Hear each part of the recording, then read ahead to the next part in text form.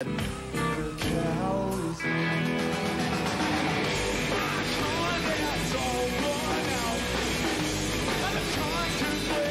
a wide range of sounds on the album. I know one of the songs that really jumped out was Weenie Beenie, just this massive sonic assault. Beenie.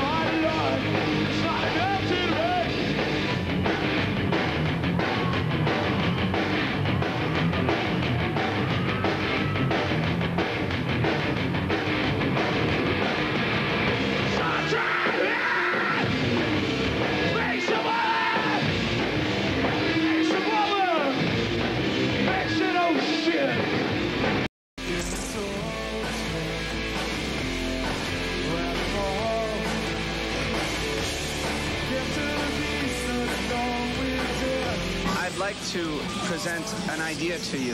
How about